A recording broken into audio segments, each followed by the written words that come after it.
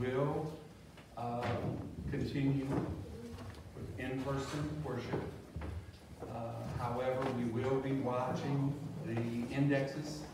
Uh, The recommendation from the conference today was that we, or this week, was that we watch what's coming out uh, from DHHS, and that if there's a change, that we prayerfully look at.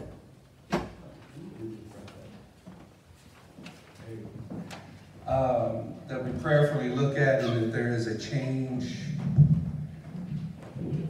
that we will, we will go accordingly. I will tell you that some churches have already switched and gone back um, to virtual. Uh, But for now, we are going to stay in person. Uh, We will keep, again, we will keep watch on it to decide if we're going to switch back or not. Are there prayer requests that we have this morning? Yes, ma'am. Uh, Ron, my friend Ron Smith, he went to the hospital by ambulance last night. And Jason is wanting to come home, and I don't think I can do it. I don't think I can get it. Miss Betty, we're glad to see you back there. Miss Betty? A Motley family.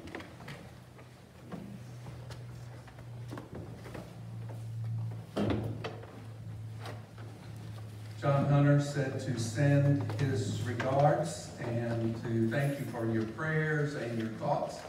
John retired uh, on Friday. Um, I am not sure who will be uh, handling one church, one child, but we will, uh, I'll let you know as soon as I get word uh, from you. Oh, my friend Mary Alice, who has macular degeneration, she's almost blind, but she had cataract removed this week. And the doctor said it was so big, it should have been removed two years ago. And she, at this point right now, cannot see anything out of her eye. So she is blind completely now, so I want prayers for her. She's having a really hard time. Ms. Angie, you have uh, an announcement to share? Um, You know, we normally go, we normally go to the kitchen and cook for Rowan Helping Ministries, but, um, I know our population is not necessarily comfortable with doing that, but we still need to service the, um, the Rowan Helping Ministries as often as we can. And so, um, we are gonna do donations, and I just, I picked the thing, they had, they actually on their list of things they needed were salt and pepper packets, and then mayonnaise, ketchup, mustard, little packets. So if you are able to purchase those, um, um, feel free to bring those to church over the next three Sundays. And that's gonna be kind of our theme for these next three. Um, if you just want to donate, then just, you can give the money to me or Lisa Meisenheimer, or Grace, Julie, and Sandy, and we'll go purchase them at Sam's. Believe it or not, only a dollar ninety-eight will buy twelve hundred little salt packets. So, um, it doesn't take a large donation to be able to, for us to, to buy a lot of these little small packets of things that they have requested. And then we'll switch it up in three weeks. You know, one time we had a bunch of those down with the men's breakfast, Oh, really? and I don't know, all this going on, there. Okay. Well, Please check it we had a bunch of those okay, I'll look down there too then.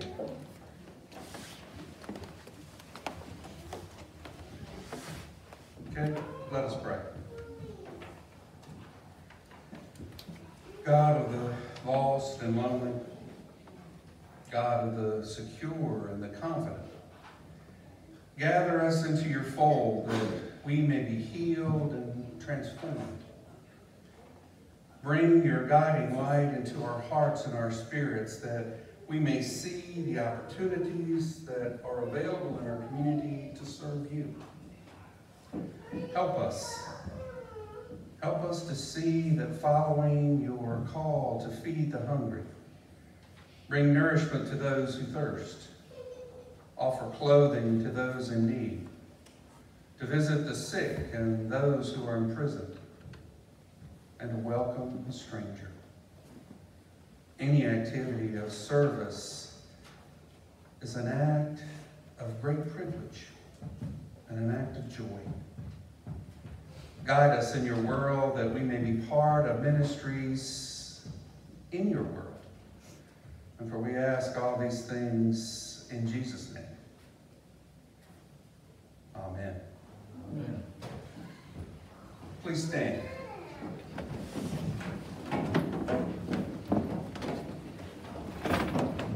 Remember to show those around you that you love them. All right? Then also remember, middle finger, palm, God loves you. Now Miss Nancy's gonna teach us to do twenty-five jumping jacks. Please be seated. We'll now have our morning hymn. We're gonna be doing a song that we did about six or seven weeks ago. Um, we just didn't know who all had the chance to be in attendance that week. Uh, and this song just really fits the theme that, that we were going with, scripture and whatnot for this week.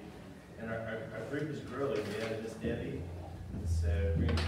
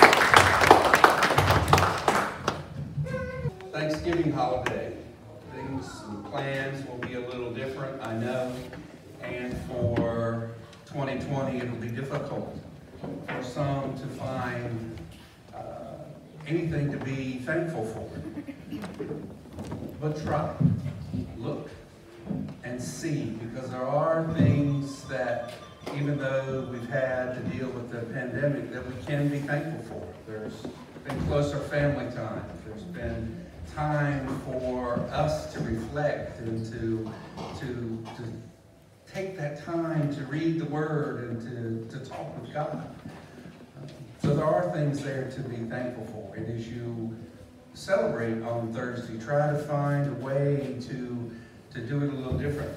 Um, we will be, uh, it'll just be Debbie and I, the kids, and uh, my mom and all in Maryland will be eating at the same time, although we will have the computer there. So we will be together just 493.2 miles apart. Um, So try and find a way to find something to be thankful for. Also, next week, we'll be beginning our season of Advent. A time when we look forward to the coming of God, to look forward to, to the change that it will bring for us. Um, If you have your bulletin with you this morning, please feel free to join with me in the prayer confession.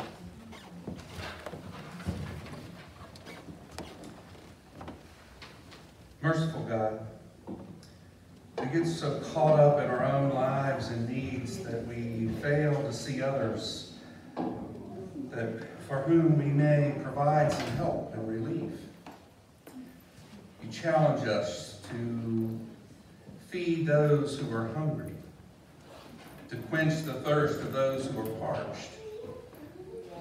You ask us to bring clothing to those who have none or for whom clothing is inadequate for the weather. To visit people who are sick, who are alone, who are alienated, who are imprisoned either in cells with bars or in conditions of hopelessness and poverty. That they see no way out. To welcome the stranger and to reach out to those who are marginalized to always bring your words of healing and redeeming love. We have failed in those tasks. We ignore the opportunities to claim that we are and claim that we are too busy to help, too busy to care. And how this attitude must sadden you, Lord. You lavish your gifts upon us that we may use them for the betterment of your realm and we treat them as inconveniences. Forgive us, O God. Forgive us and heal our wounds of greed and selfishness. And let us greet this day with the hope of the reign of Christ can be made manifest. And that we can be part of this glorious kingdom of peace and of passion, compassion. And it's in Jesus' name we pray. Amen. Hear these words of assurance. In the name of Jesus Christ, who brings peace and hope to us, we are forgiven. We are healed and enabled to be part of the ministries of compassion in God's world. Rejoice. You are chosen and you are loved. Amen. This one, I think, now we'll come forward with our children's one. Well, good morning. Can you hear me okay? Well, wow. Um, you know, in preparing for this morning, I was thinking about the fact that, you know, we're gonna be gathering together, some a little bit differently this year, for Thanksgiving. We've been talking about gratitude. And so, I think sometimes it's easy for us to remember that it's easy to be grateful when things are going well. It's been a challenging year for a lot of different reasons.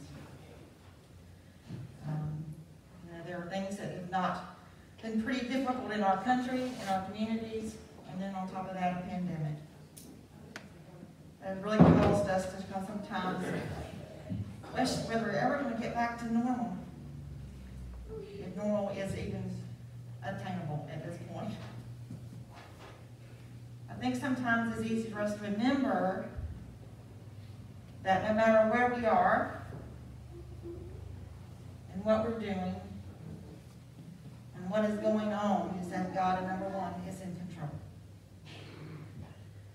And that no matter how challenging our times can be, we still need to be thankful.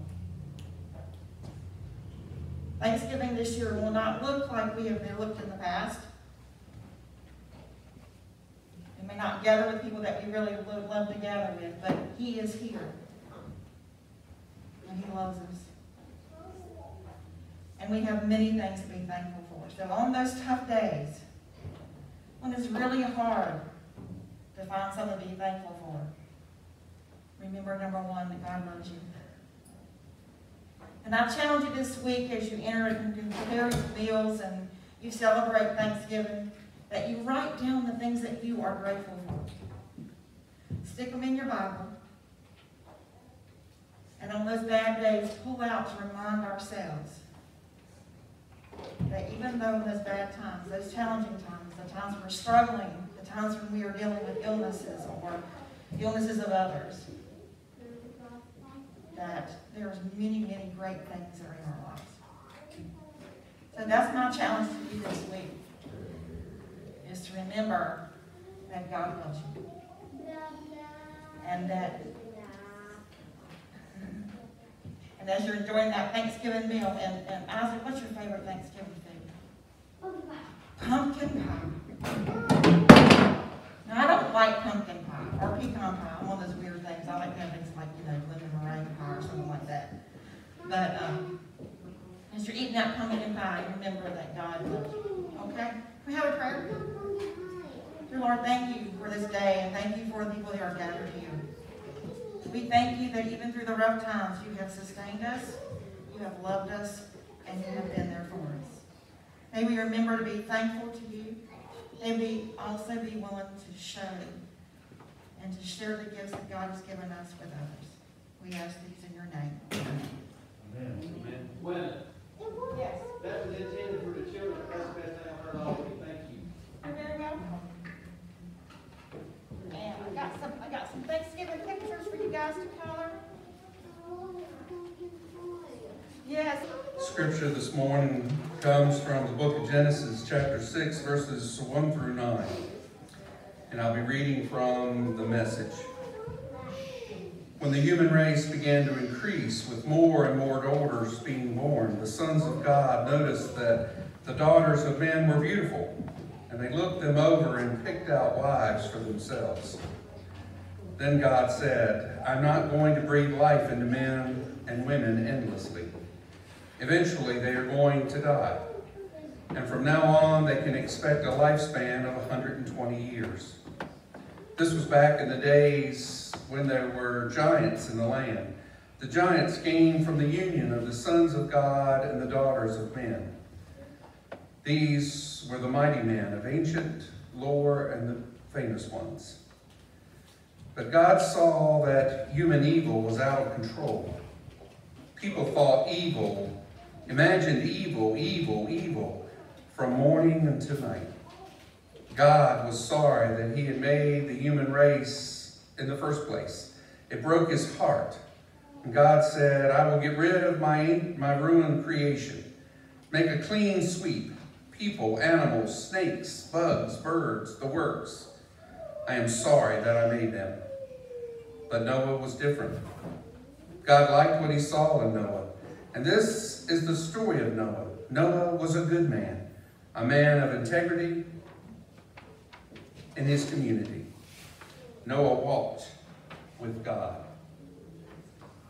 The word of God for the people of God. Let us pray. Heavenly Father, open our hearts to hearing your word.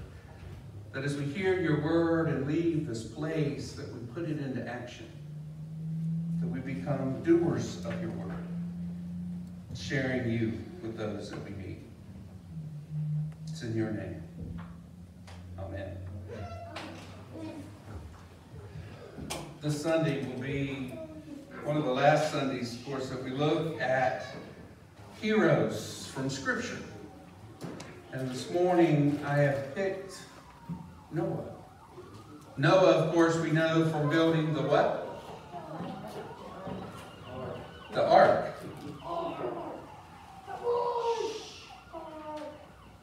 There was a story of a pastor who attended Hillsong Church, which is a big megachurch in Melbourne, Australia. And he was there with his daughter and son-in-law, and they were seated in the third row back, and the music that they listened to was awesome. They were talking, or they were singing about God's beauty and His passionate expressions of, of love to all of those that had joined. It was over a thousand folks. The pastor spoke of this vision that he had for Hillsong Church, staring everyone to do greater things. And then the pastor writes, all of a sudden, I felt so small, so insignificant. Yes, I was still very much a part of God's church, but a very small part. Just a face in the crowd. And for me, it was a strange feeling. Excitement for what God is doing, but a, but a sense of the insignificance of my part in this great plan. And that's the way we can often feel when we begin talking about heroes of faith. And we try and we wonder, how can we ever measure up? How can we ever contribute anything to God's plan? But if you think about over the last few weeks, the heroes that we have talked about have been these just insignificant, original folk. Some they've referred to them as just good old country folk. But that was before God put his call upon them. It's not the person that, it make, that makes them a hero. It's how they respond to God's call that makes the difference. We saw Paul, who was an ordinary fisherman, who he dropped everything, left his people to follow Jesus, only to deny him a short time later. But he ended up being the foundation on which God built his church. Sarah, the who was long, excuse me, who was it was way past her childbearing years, but she gave birth to a child that ended up her and Abram were the beginners of, of a nation that would become God's chosen people. So today I want to look at this, this ordinary, insignificant person of Noah, who lived in the desert. You know, as a child, we, we learned the story of Noah, or of Noah, that he built this big ship and brought two of every animal, every creature on. But today I want to look at him a little different. I want to look at his story a little different. To give you just a little, little prelim. You know, God's children were in, it was in tur- turmoil. Cain had killed his brother Abel, who, because he was jealous over Abel's gift to God, and he felt that God looked at his gift better, or thought that his gift was better than his own. Jacob, who delivered his, or deceived his blind father into giving him his brother's blessing and inheritance. And Esau, who then tries to hunt him down and kill him. Sin is everywhere. It's touched everybody. And the message is clear that God has, what God has created has been destroyed by human sin. And it's sunk to the level of beasts in the wilderness. And then finally God said, enough is enough. I've had it. His heart was troubled. And God makes that painful decision to just wipe it all out, start over again from scratch. Walter Brueggemann writes, God is not angered, but grieved. He's not enraged, but he's sad. The depth of God's pain is revealed in, in the use of the Hebrew word, which is asaf, which means, or it was actually used to describe the pain of childbirth. This is the depth and the magnitude that God was feeling, of pain that God was feeling. He sees, and the decision he knows that he has to make. But there's a glimmer of hope. And this glimmer of hope he finds in Noah. Noah had found favor in the eyes of God. What can we learn from Noah about our life and our faith? First, heroes walk with God. Noah is a righteous man, blameless among the people of the time, and he walked faithfully with God. And why did God favor him? Three reasons. One, he was righteous. One of the things that the writers of Genesis want us to see is the difference between the sinful world in which Noah lived and then Noah himself. The Hebrew word for righteous, righteous is sadiq, which means to do justice and to do right within a relationship. In other words, Noah believed, excuse me, believed in God and he trusted God. And he lived his life as God planned it for him to live. Despite all the turmoil and all the mess that was going on around him. Second, we learn about Noah that he, he's blameless. He's one who lives out the commands of faith and is pleasing to God. And then third, Noah is described as one who walked with God. What a powerful image this is. And I, think for me, I, I get this image of, of seeing Adam and Eve in the garden and being able to walk with God in the afternoon.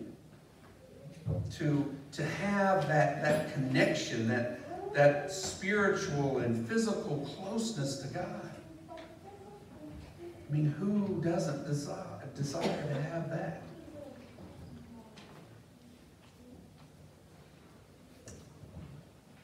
This gives or brings to mind this, this concept of fellowshipping with God, talking with Him, living with Him, and dedicating our lives to Him. Paul puts it this way As a prisoner for the Lord, then I urge you to live a life worthy of the calling that you have received from Him.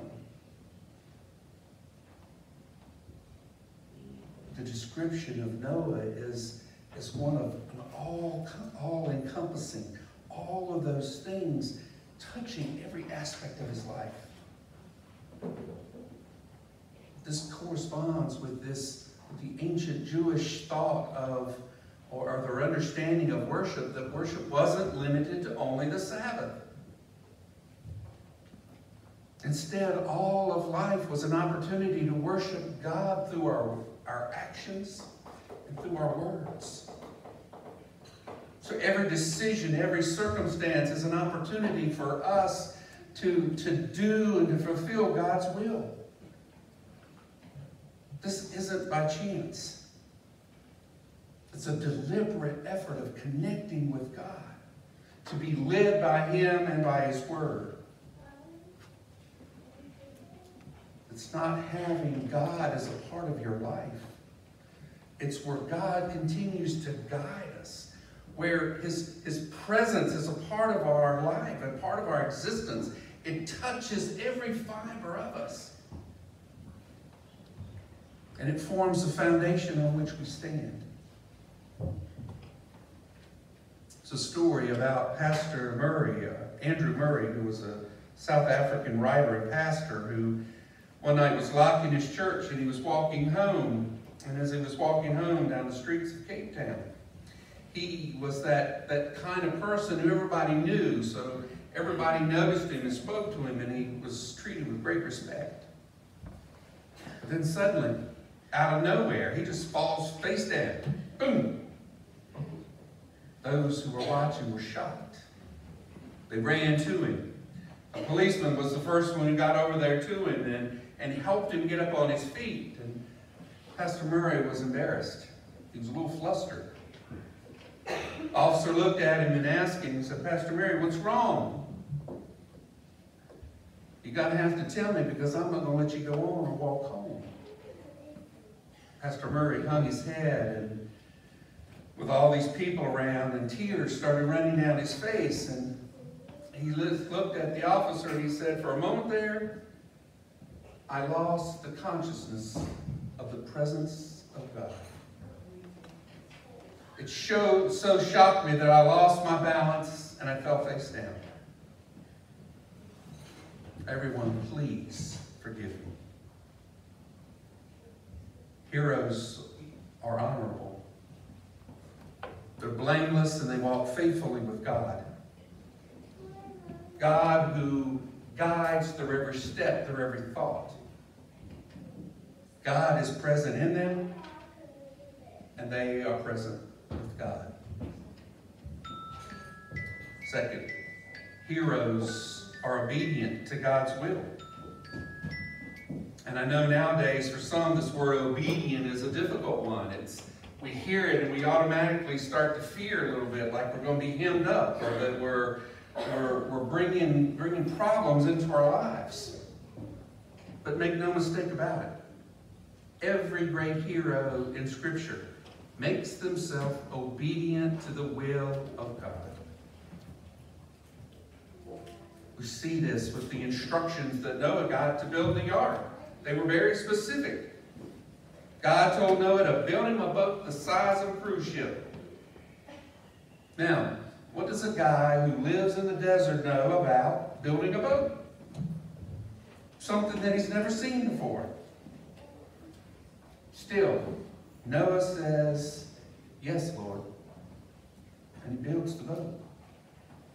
In fact, two times in the story of Noah, further on in chapter 6, we hear that he did everything just as God commanded him to do.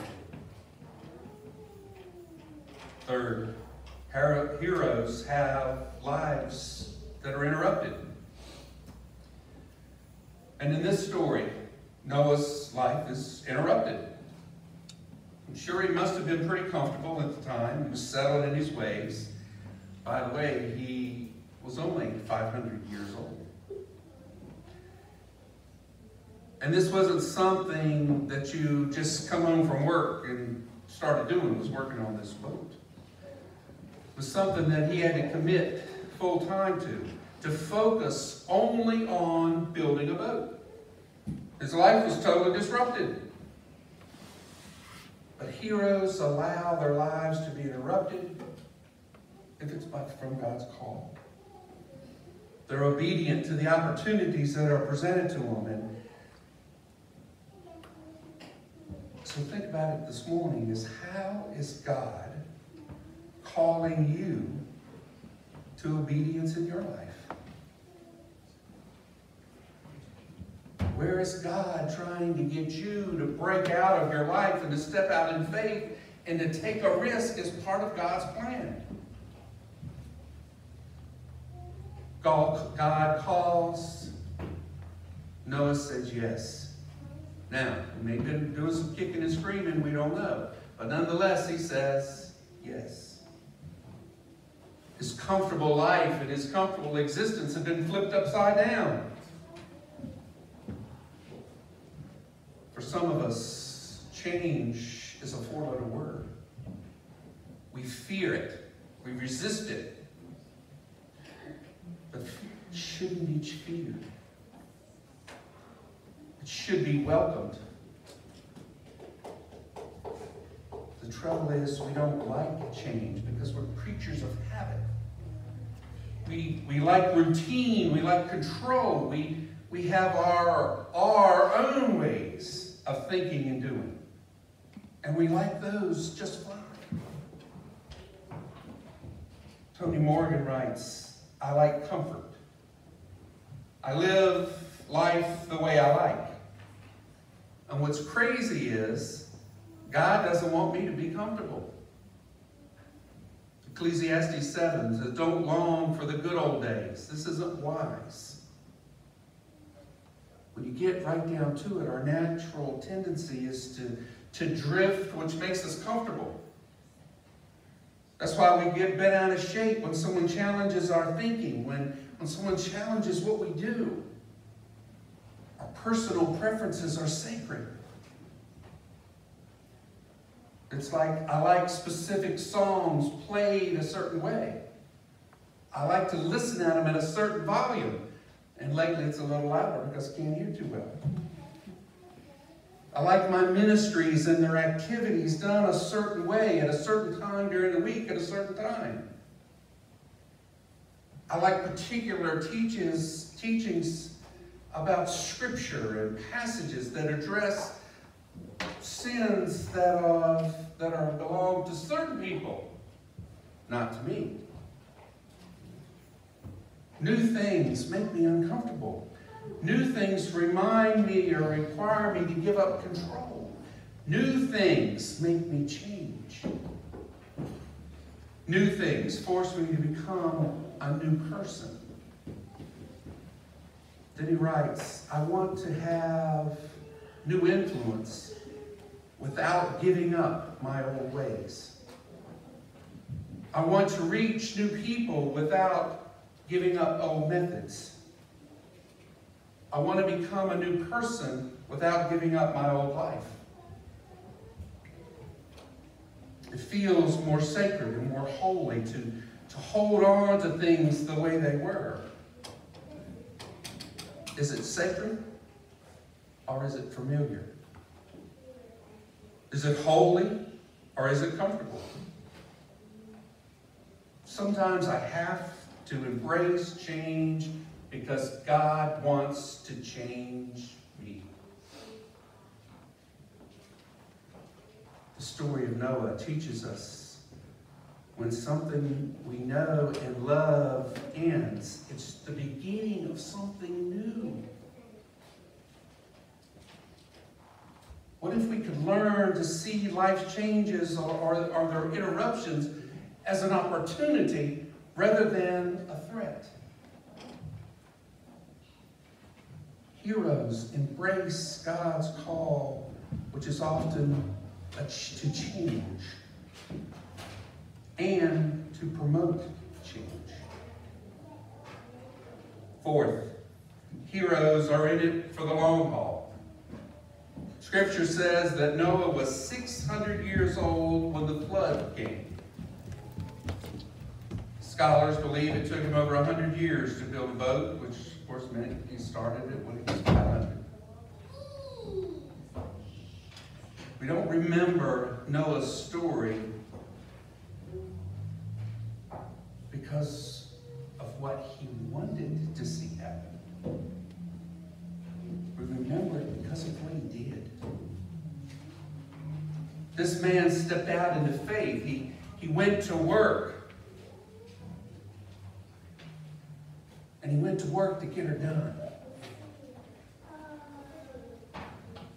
Now, there's one thing that, for, uh, and that one thing for many, many folks, maybe knows, maybe the most difficult thing a hero does. Galatians 6 says, Let us not become weary in doing good, but for at the proper time we will reap a harvest if we do not give up.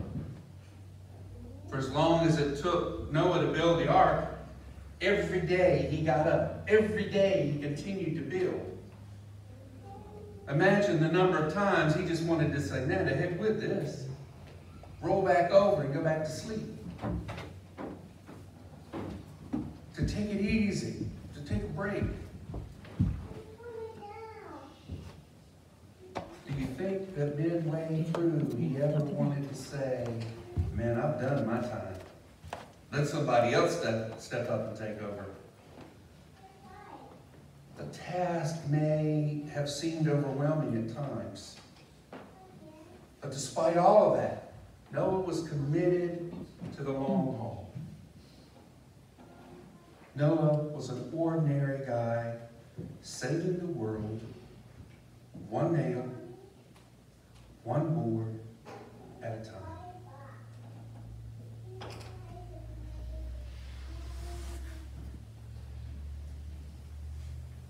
It's hard to live a Christian life.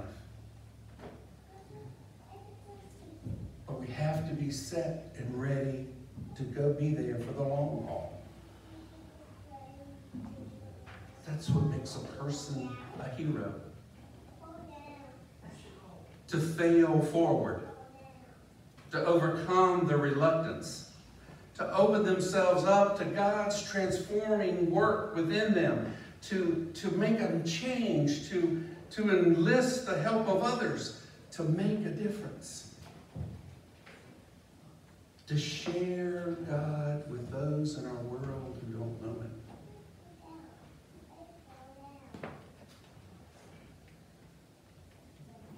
Of the heroes, folks, we talked about over the last several weeks,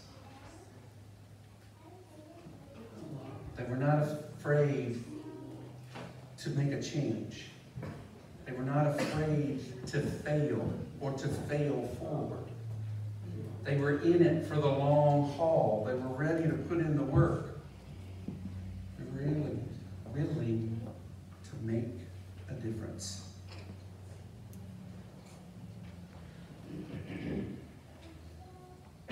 And it's in His name. Amen. Please stand.